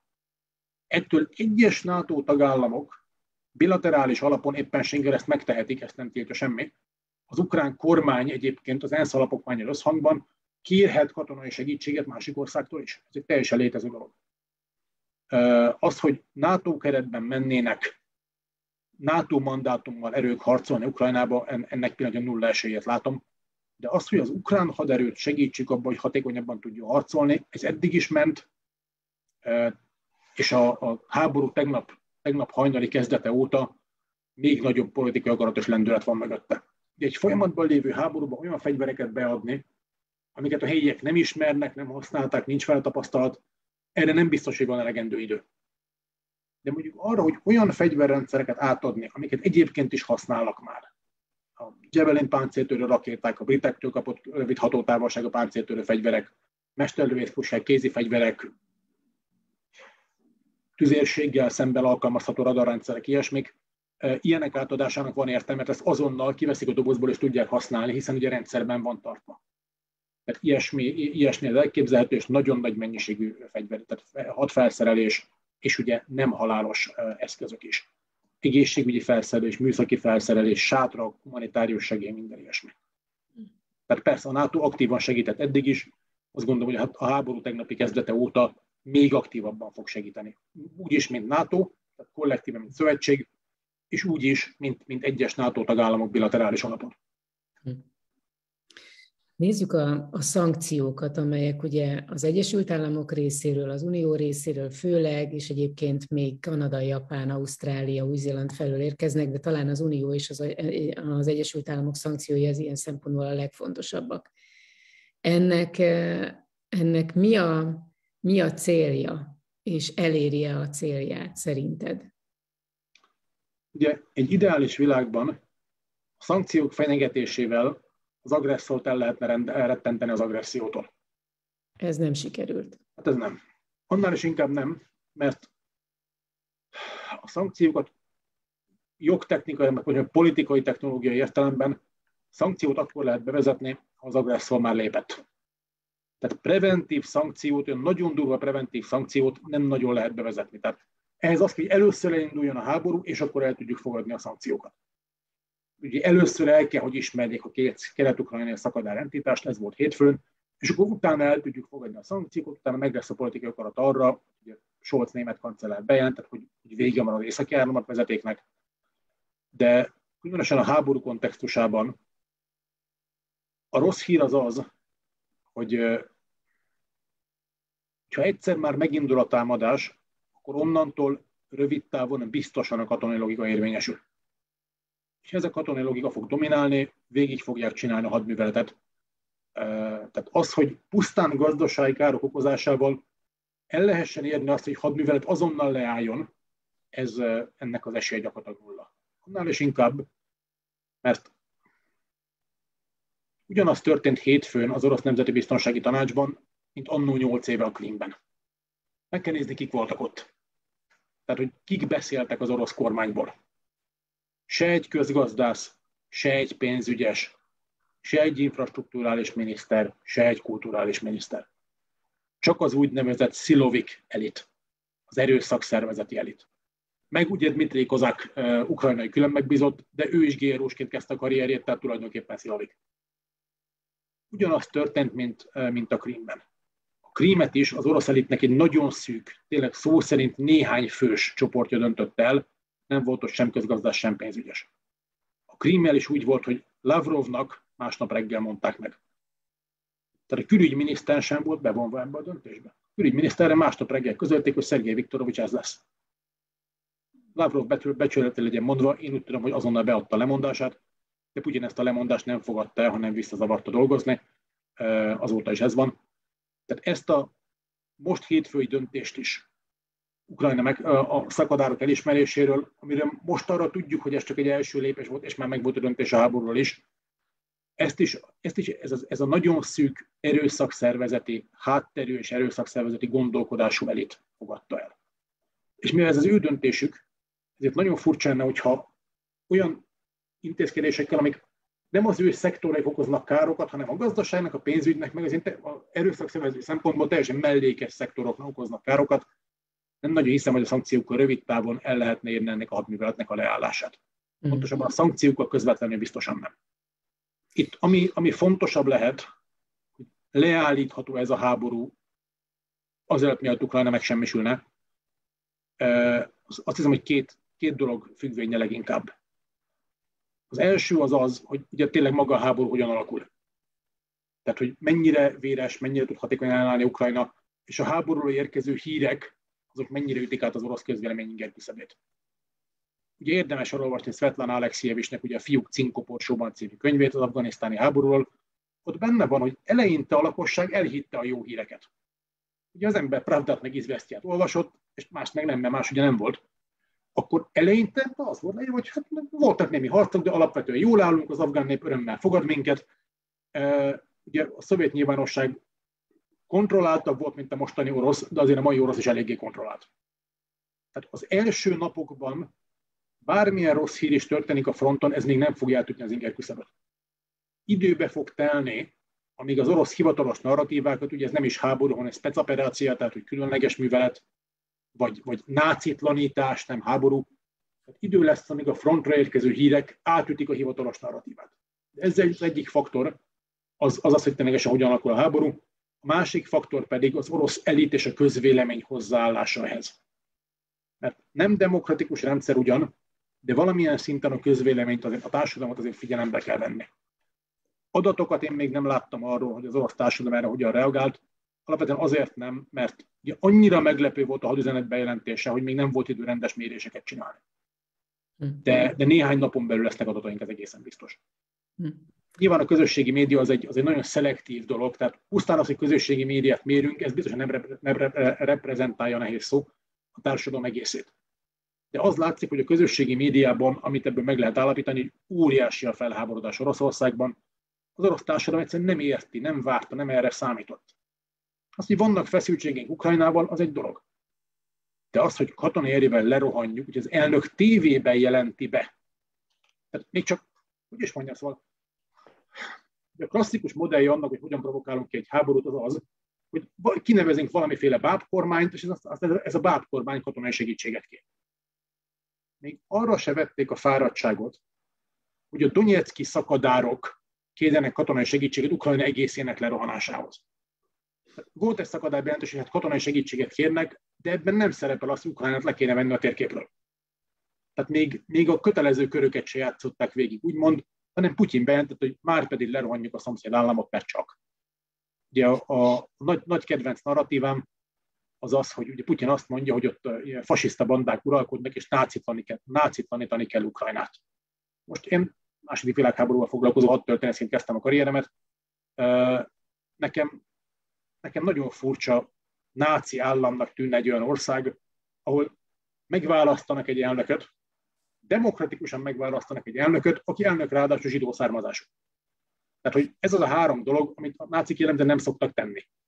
Tehát, hogy ez az egész nácitlanítás narratíva, ez, ez nagyon-nagyon billeg. Ezzel együtt az első napokban ez működik, az, működni fog az orosz nyilvánosság egy részében. Kell az, hogy a, a frontra érkező hírek kontrasztot adjanak a hivatalos narratívával. De ezzel együtt ez egy fontos faktor lesz. Feltételezett, ezért nem közölnek adatokat arról, hogy mekkora veszteség van orosz és... Vicces, igen. Igen. Ezen a ponton itt a, a szankciók kapcsán enged meg, hogy bevonjam a beszélgetésbe Holcer Pétert, és szia Péter, köszönjük. Egy, egy picit mesélsz nekünk arról, hogy te mit látsz abban, hogy azok a szankciók, amiket az Egyesült Államok ma tegnap eldöntött, és amit az Unió ma reggelre eldöntött, annak mekkora ereje van, mire hat, mit tud, vagy hogy néz ki ez? Ö, hát amit lehet olvasni, talán a magyar sajtóban inkább az európai dolgokról lehet többet olvasni ma, mert hogy ugye abban Magyarország is benne volt, és ugye többen kiemelték, hogy volt néhány ország, amelyik úgy igyekezett ebbe a puha irányba nyomni a szankciókat, Németország, Olaszország, Magyarország, talán még Ausztria, ha jól emlékszem. Tehát, hogy ott, hogy is mondjam, nem olyan nagyon-nagyon kemények, mint lehetnének. Talán az amerikairól úgy kevesebbet olvasni felénk, de, de az emberi megnézés éppen ma délután olvastam erről valamit. Gyakorlatilag az derül ki, hogy amit ott bejelentettek, az is olyan szankció, hogy komolynak tűnik, de pont azokat engedi, amik, hogy is mondjam, ami nagyon fájna a nyugati világnak is, hogyha igazi szankciók lennének. Jelesül leginkább ugye a energiakereskedelem fölött nem nagyon kerültek új szankciók, és ugye amiről sokat lehetett hallani itt az elmúlt pár napban, illetve már korábban is, hogy esetleg az oroszokat lekapcsolják a SWIFT-ről, tehát erről a nemzetközi banki rendszerről. Ugye ez sem történt még meg, és érdekes módon, vagy lehet, hogy nem érdekes módon, de volt egy olyan kijelentése is az amerikaiaknak, hogy ezt alapvetően az európaiaktól várják, hogy rábólincsanak, de az európaiak nem nagyon bólintottak rá erre, hogy le kéne kapcsolni a SWIFT-ről a oroszokat. Az kétségtelen, hogy ez egy ilyen brutál durva lépés lenne, aminek mindenféle következményei lennének oda-vissza, tehát én nem vagyok meglepve, hogy ezen töprengenek, de ez még nem történt meg. Igen, én, én ha egy picit kifejted azt, aki nem érti meg, én se vagyok ebben teljesen, hogy mi ez a SWIFT, és miért hát a SWIFT, a, ti is ismeritek, szerintem mindenki ismeri, aki csinált már nemzetközi banki utalást, hogy, hát, igen. hogy minden banknak van egy, hát, tehát akik benne vannak ebben a rendszerben, van egy ilyen SWIFT azonosítójuk, és gyakorlatilag ezen a rendszeren futnak a nemzetközi pénzügyi transferek, és ezt, ha nagyon akarnák, akkor egy mozdulattal le lehetne kapcsolni az oroszokat, mint ahogy ha én jól emlékszem, akkor Iránt meg Észak-Koreát megtették a múltban, hogy lekapcsolták erről a rendszerről, mondjuk amikor a legdurvább iráni szankciók voltak. És hát ha az ember belegondol, hogy ennek milyen következményei lennének oda-vissza, tehát ettől úgy, úgy lehet, hogy joggal óckodik mindenki, de mondom, ez a két fontos dolog biztos, hogy nem történt meg eddig. Yeah, Oké, okay. és a, viszont erre a SWIFT-re a, a, a, a szem kínaiaknak is, és az oroszoknak is van egy alternatív megoldás. Na, itt szeretném egy picit folytatni, ha szabad. Ö, és mert ugye amikor erről beszélgettünk, Györgyi, hogy majd itt váltsunk pár szót, akkor te azt mondtad, hogy itt ugye ilyen hatalmi összefüggésekről, meg hogy miről szól az egész hatalom, én meg erre azt mondtam, hogy energia, mert hogy szerintem az egész hatalom az semmi más, mint az energia, és majd itt szerintem a Krisztiánnal fogjuk egymásnak dobálni a, a, a labdákat is, de akkor Szóval én most úgy élem meg ezt a, ezt az egészet, és akkor egy lépéssel hagy lépjek már vissza, és nekem nagyon tetszett, amit itt a, az András elmondott az előző egy órában. Volt ugye egy olyan kérdésed talán Györgyi, hogy ez miért most történik, meg hogy meg lehetette volna előzni, meg, meg ehhez hasonlók.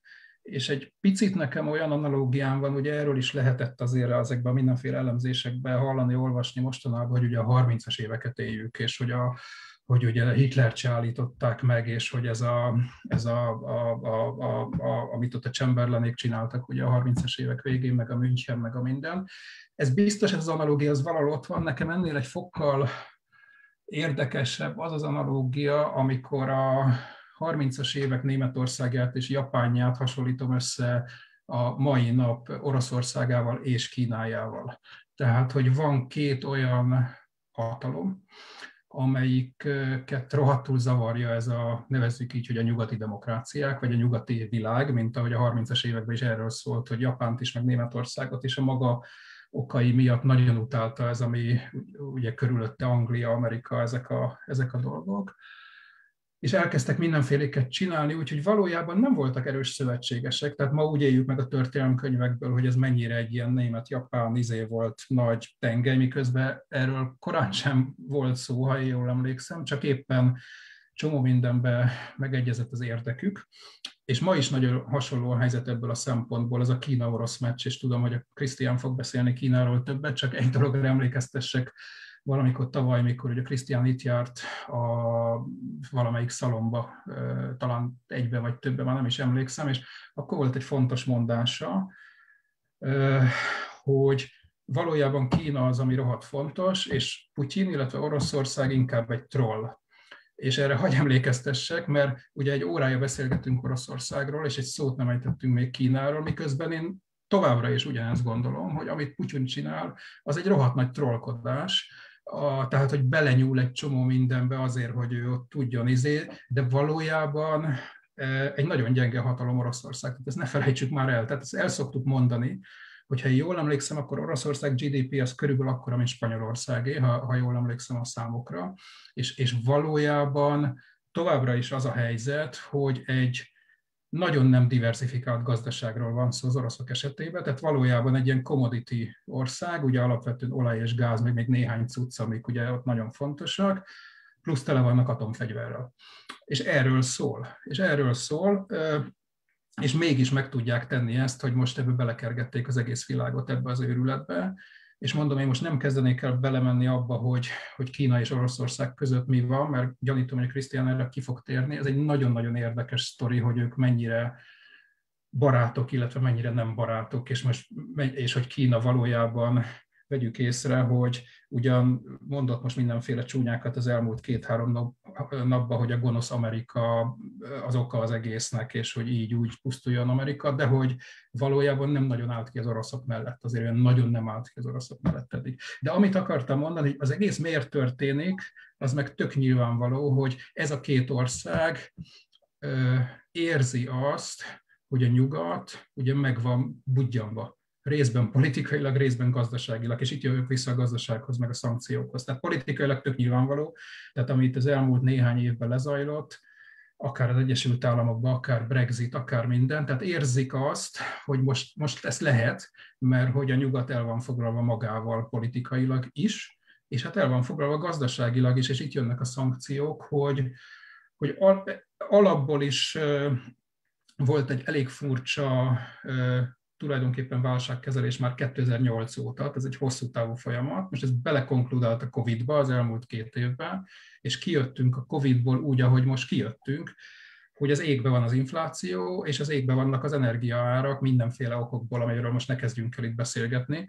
És egyébként az egyik oka nyilvánvaló az, az hogy az oroszok ebbe is beletrolkodtak, és amikor látták, hogy elkezd fölmenni az energiaárak, még rá tettek egy lapáttal ügyesen.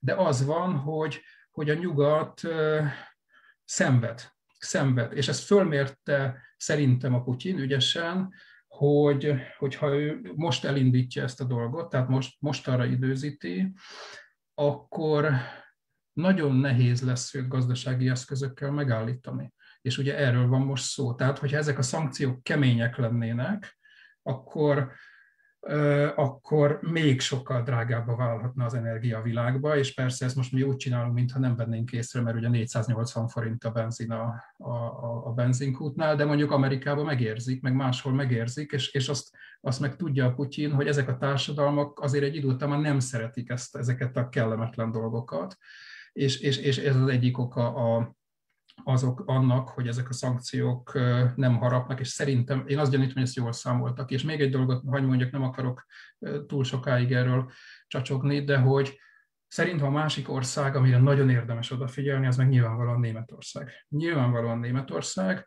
amelyik ugye túl van 16 év Merkelen, túl van egy választáson, ahol nem tudom hányan követitek ugye a német újságokat, meg a német belpolitikát, de az látszik, hogy ez a kormány éppen csak fölállt, éppen csak keresi magát. A németek eléggé kezdenek elégedetlenek lenni a Scholzal, az új kancellárral, mert gyakorlatilag az elmúlt három hónapban meg se szólalt, tehát nem nagyon csinál semmit. Maga a kormány is hát azért egy kicsit széthúz, tehát az egyik irányba mennének a szozdemek, a másik irányba a zöldek. Csak kis színesként jegyzem meg, hogy ott van ugye Gerhard Schröder, a, ugye a régi kancellár, ha emlékeztek, hogy a Schröder kancellár, aki ugye a Gazpromnak a vezetésébe mai nap boldogan feszít, és ez egyre cikibb a németeknek egyébként, tehát a német sajtó gyakorlatilag naponta írós már cikkeket arról, hogy miközben van egy szociáldemokrata kancellárjuk, a közben a, a Schröder meg ugye ölelgeti folyamatosan a Putyin, tehát hogy ez nagyon-nagyon gáz. És ugye azt meg tudjuk, hogy a németek is rohadtul rá vannak szorul, szorulva az orosz energiára.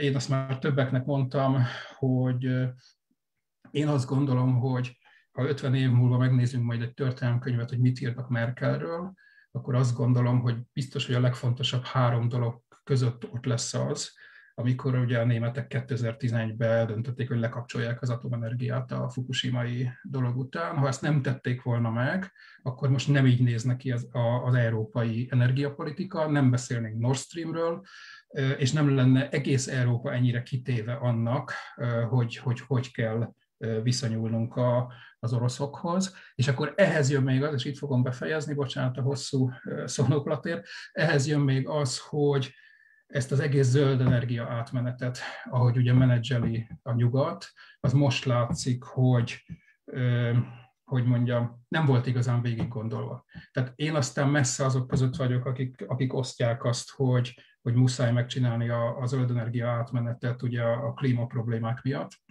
de most látjuk azt, hogy, hogy az egésznek a, a, a, a folyamata az nem lett végig gondolva, előre szaladt, és most egy nagyon nagy bajba vagyunk, mert, mert most kiderült, hogy mégiscsak marhára szükség van a gázra, mert ugye még nem tartott messze a, ez az átmenet, és rohadtul rá van szorulva Európa a, a, a, az orosz importra, és akkor itt jövünk vissza az egészhez, hogy miért nem harapnak a szankciók. És akkor még egy picit hadd maradjak veled a szankcióknál, mert ugyan egy fél mondat erejéig jelezted, de nem biztos, hogy elég hangsúlyt kapott. átküldtél nekem egy cikket, amiben az áll, hogy Javier Bláz, a Bloomberg munkatársa hételen kiszámolt, hogy Oroszország napi 700 millió dollár hasznot húz az energia és a nyersanyag eladásból. És volt itt egy amerikai szankció, ami úgy néz ki, hogy kemény szankció, de közben meg, ugyanebben a cikkben szerepel az, hogy közben az energia ár, vagy az energia kapcsán nincsen semmiféle szankció. Igen. Ez azt jelenti, hogy folyamatosan folyik a kereskedés, ami egyébként ennek a kereskedési viszonylatnak a 80 százalék, ha nem tudom, lehet, hogy hülyeséget mondok, de valami hasonló. Igen, erre utaltam korábban, Györgyi, hogy ebbe az energia izében nem nyúltak bele, többek között azért sem nem bírnak ebbe a konstellációba, tehát nem lehet egyik napról a másikra, és valóban így van, tehát ezt, ezt is tudjuk, hogy az, hogy most ennyire drága az olaj meg a gáz, azon közben rohadt sokat keresnek az oroszok napi szinten. És ráadásul egyre többet, ha emelkedik az ár, akkor egyre többet fognak rajta keresni, és egyre nagyobb a tartalék.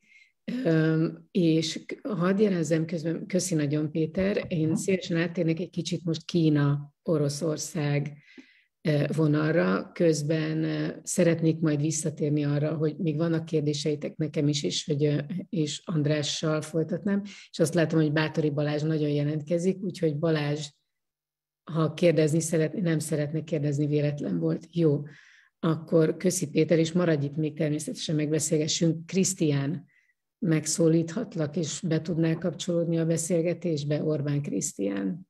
Itt vagyok, szia. Szia, Krisztián. Hú, megnézzük ezt. Picit mesélsz nekünk arról, hogy hogy van ez, hogy most Peking láthatóan Moszkva felé hajlott elég jelentősen? Igen, én, én a, tényleg csak a dolognak a kínai oldaláról szeretnék nyilatkozni. Azt gondolom, hogy Andrásnak biztosan van egy nagyon érdekes és hasznos perspektívája arról, hogy hogy néz ez ki a Kremlből. A, én igazából ugye egyikünk se lát abba, hogy pont, milyen, pontosan milyen megfontolások mennek most éppen Pekingbe, mindenki csak találgat.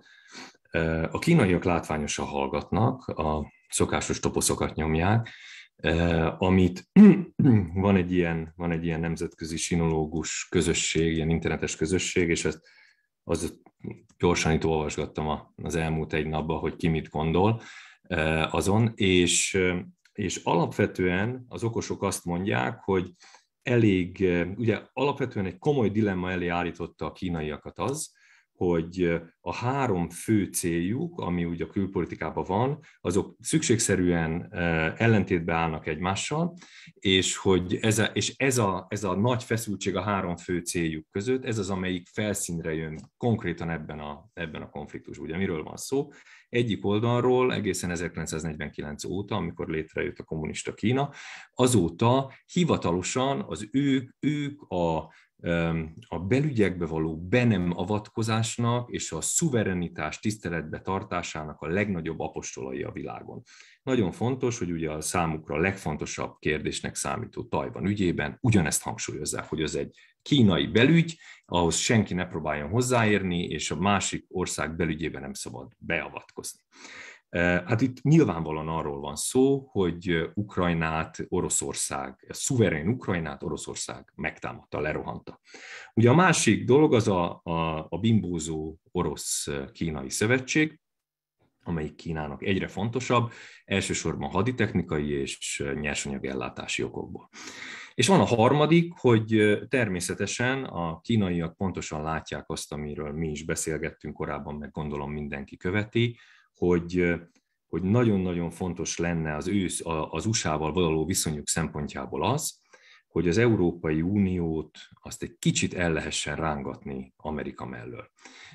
Alapvetően abból a szempontból, hogy technológiához hozzá lehessen férni. Ugye az egyes számú mióta az ez a Ugye nagyon sokáig Izrael volt az egyes számú csatorna, amin keresztül a kínaiak technológiához jutottak, ez elég határozottan el lett vágva Amerika részéről, és most ugye az az elképzelés, hogy talán egy kicsit ezt a, az EU-nál lazítani lehetne a dolgokat, és hogyha klasszikus módon egyenként, külön országonként kezelem őket, stb. stb., akkor, akkor talán valami többet lehet onnan kiszedni, mint amit Amerika engedni szeretne. Na most ez a három cél, ezek, ezek nyílt konfliktusba kerülnek, az is jól látszik, hogy Xi Jinpingnel azért nagyon sok a, a, legalábbis a Deng Xiaoping óta meglévő tradícióval, tehát az 1981 óta meglévő tradícióból nagyon-nagyon sok dolognak hátat fordította az új kínai elnök fokozatosan 2012 óta, és elég valószínű az, hogy ez a, hogy, hogy a három közül az orosz-kínai szövetség legalábbis középtávon számukra a legfontosabb. De hogy, hogy ennek ellenére, ugye praktikusan ennek az irányába mozdulnak, az egyik legfontosabb intézkedésük az volt, hogy tegnap leszállították a, az orosz búzára az orosz búzára kiszabadott vámnak az értéket levitték nullára, ezáltal olcsósították az orosz búzát, ezáltal ösztönözve azt, hogy ott kerüljön értékesítésre, tehát hogy ezáltal pedig ugye mint egy segíteni Oroszországnak a, a szankciók várható hatását tompítani, de hogy, tehát hogy, hogy praktikus irányba nyilván abba az irányba mozdulnak, de a kommunikáció szintjén óriási kínban vannak. Nekik úgy kellett ez, a, ez az ukrajnai konfliktus, mint ablakostóknak a hanyattesés, de hogyha, de hogyha, már, de hogyha már megtörténik, akkor nyilván ők is sokat próbálnak belőle tanulni. Megint csak itt valamelyik okos amerikai sinológus vetette fel azt, hogy az jól látszik, hogy ugye, amit András is említett, hogy Putyinék arra építettek, hogy itt gyakorlatilag hát úgy fogják őket fogadni, mint a felszabadítókat és ez pontosan a kínai doktrinának a, az alapelve Tajvan kapcsán. Tehát, hogy ők tényleg azt gondolják, hogy megroppantják a vezetést, e, lesöplik a repülőtereket, és utána gyakorlatilag felszabadítóként fogják őket ünnepelni. E, hogy esetleg ez ösztönözheti a kínaiakat ennek az újragondolására, én személyesen ezzel kapcsolatban szkeptikus vagyok, de hát az én véleményem azért az ebben igen kicsi súlyjal bír. E, szóval, szóval az a helyzet, hogy egy csomó érdekes kérdést tesz fel Kínának. Én azt gondolom, hogy nyilvánvalóan megpróbálják arra használni, hogy Oroszországot jobban magukhoz húzzák, jobban magukhoz láncolják. Én Oroszországhoz nem értek elég, úgyhogy ha lehet, hogy én kérdezek esetleg Andrástól, akkor ki is használnám ezt, hogy, hogy Putyin nem retteg attól, hogy gyakorlatilag kiszolgáltatja teljesen magát Kínának, hogy azáltal, hogy a nyugattól ennyire messze kerül, teljesen egy, egy alávetett viszonyba kerül Kínával, és, és de még reménytelenebb lesz a helyzete, mint most. Nyilván nincs közvetlen telefonon valami a Kremlhez, vagy akkor lenne, valószínűleg nem itt ülnek. Amit lehet tudni az orosz döntéshozatal Kínával kapcsolatos gondolkodásáról, az az, hogy abban bíznak, hogy amíg a nukleáris erőfölényük annyival nagyobb, mint amire Kína képes. És hagyományos fegyveres erők tekintetében ugyan nyilván kisebb az orosz hadsereg, mint a kínai, viszont az nem véletlen, hogy Oroszország tartja a legtöbb, tehát a világon legtöbb harcászati atomfegyvert rendszerben. Ugye a harcászati atomfegyverek, ez az az egyetlen terület, ahol Oroszország a nyugathoz képest is fölényben van, és egyáltalán nem transzparens az, ahogy Oroszország a harcászati atomfegyverek kérdését kezeli. Ugye a hadászati atomfegyver, mi ez miért, jelentős? A hadászati atomfegyverek kérdésében gyakorlatilag teljes transzparencia van, jó működő megállapodások, amerikai orosz tárgyalásokkal, darabra tudjuk hadászati atomtöltetek és hordozó eszközök számát. A harcászati, tehát a kisméretű atomtöltetek számáról azt tudjuk, hogy valahol 2 és 8 ezer között van. De hogy ebben teljes sötétség uralkodik, Oroszország semmit sem mond erről, Ezeknek a harcászati atomtöltetek rendszerben tartásának az egyik fő funkciója az, hogy ellensúlyozza Kína hagyományos fegyveres erőkben meglévő fölényét. És ez az elképesztően biztonsági asított orosz felsővezetés, ez meg van győződve arról, hogy amíg a katonai fölénye megvan, addig ki tudja manőverezni Kína gazdasági, létszámbeli, területi, erőforrásbeli fölénye. Én sem gondolom, hogy ebben a Kremlnek igaza lenne. Tehát a kockázat, abban, hogy ez, hogy ez kockázat Oroszország szempontjából, ebben Krisztiánnal abszolút egyetértek persze. Köszi szépen. Köszi szépen nagyon, és Holzer Péter, persze azt hiszem neked van még ehhez gondolatod, úgyhogy... Bocsánat, igen, csak ugyanehhez akartam még egy mondatot ide beszúrni, hogy hát én is azzal értek egyet, hogy ebbe, a, tehát ha ez így folytatódik, akkor egyre inkább az lesz, hogy Oroszország lesz egy kis testvér Kínához képest, tehát Kína egyre inkább dominálhatja Oroszországot, hiszen ahogy szorul ki más piacokról, mondjuk akár energiapiacokról, vagy bármilyen más ilyen kereskedelmi piacokról, jól látható, hogy, hogy egyre inkább ugye Kína állhat oda azzal, hogy na gyere, akkor majd én, és akkor velem kereskedj. Ennek már látszanak az első jelei.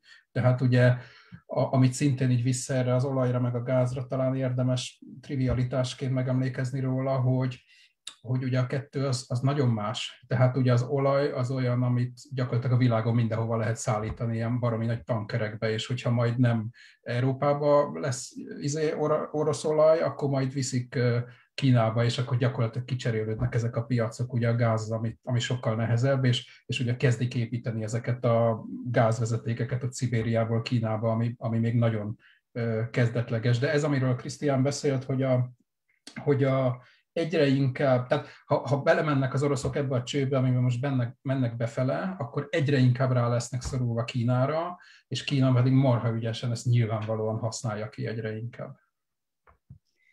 Ez egyébként hadd mondja két rövid hírt, ami most jelent meg nemrég. Az egyik, hogy az OECD nem tárgyal többi Oroszország tagságáról. A másik fontos hír, hogy nagy robbanások rázták meg Kijevet most este 8 órakor. András, folytatjuk onnan, hogy hogy, hogy néz ki, Krisztiánnal elkezdtétek ezt beszélgetni, de hogy hogy néz ki Oroszország felől nézve a még kicsit mélyebben a kínai viszony, illetve a nyugati viszonyrendszer. Én a kínai viszonyon nem foglalkoztam sosem, és nem beszélek kínaiul. Tehát én, én általában próbálok nem, nem érteni mindenhez, tehát én meglehetősen szűk, szűk fókuszú figura vagyok. Nagyon keveset tudok tudom, hogy kit kell megkérdezni, de igazából tehát itt uh, rossz oldal azért, azért tehát néhány általánosságot el tudok mondani, azért, azért nehéz kezelni a Kínával fennálló viszony, mert Oroszországnak történelmileg nincs tapasztalata egy olyan partnerrel, ami tízszer akkora, mint ő. Mm.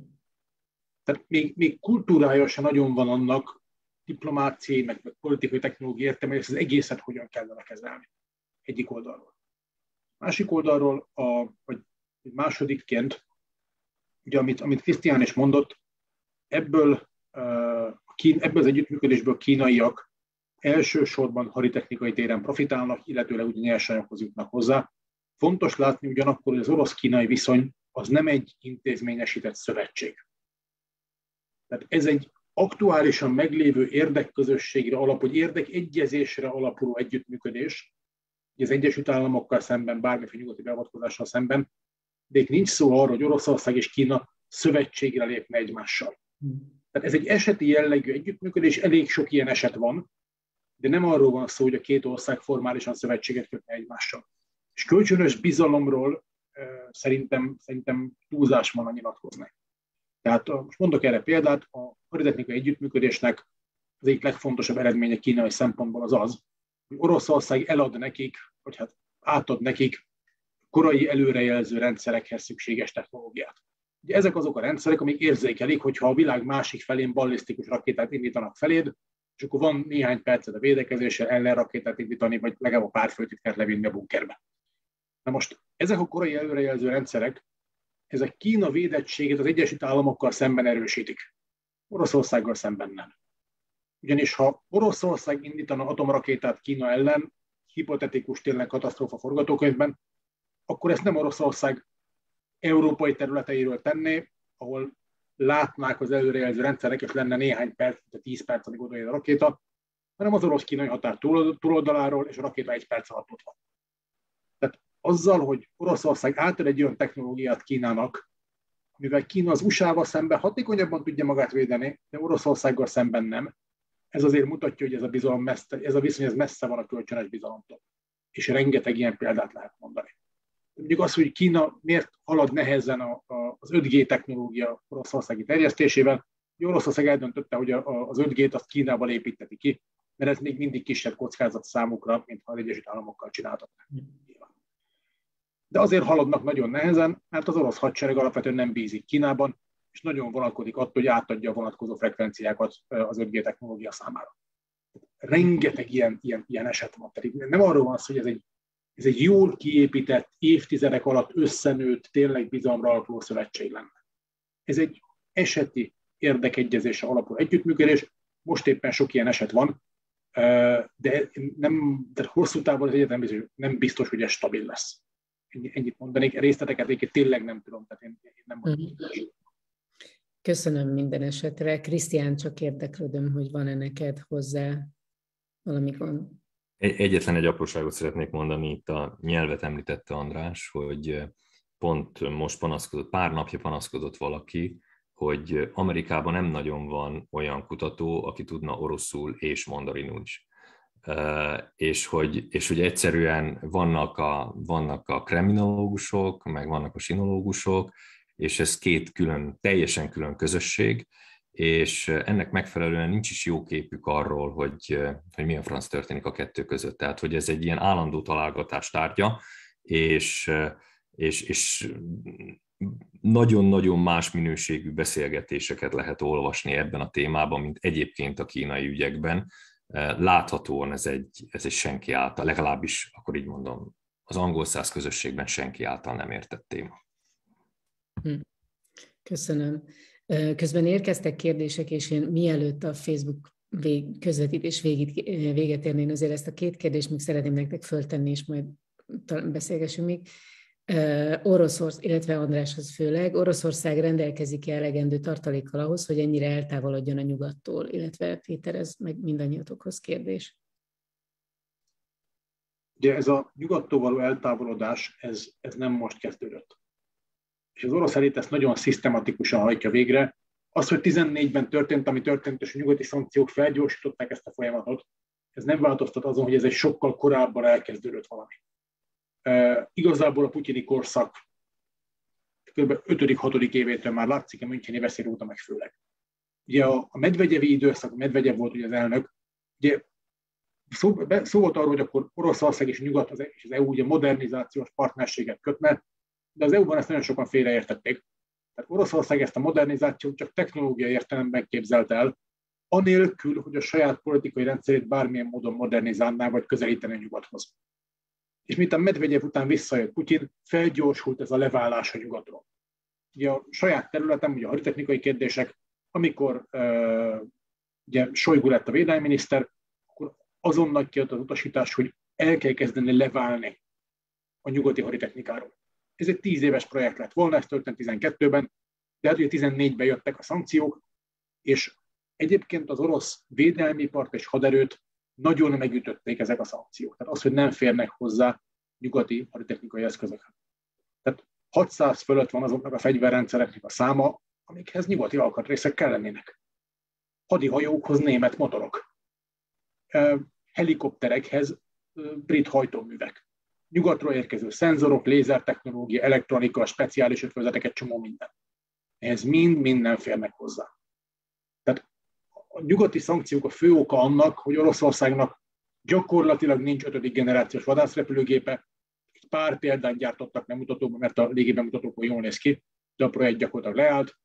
Nem lesz ötödik generációs bombázó repülőgép, mert ehhez is kéne nyugati technológia, amit nem fognak megkapni az Armata harckocsi sem lett végül is egy, egy, egy alaptípus, mert ahhoz is nyugati eszköz kellene, hanem továbbra is az erek 72-eseket modernizálják. Szenved az orosz hadipar, meg az orosz gazdaság egy csomó szektora is, de a politikai vezetés ezt beáraszta, és egyébként elég jól alkalmazkodtak hozzá bizonyos szektorokban az elmúlt nyolc évben. Tehát az orosz mezőgazdaság például egészen jó kiváltotta a nyugati importot. Meg hát vannak megkerülő csatornák is persze.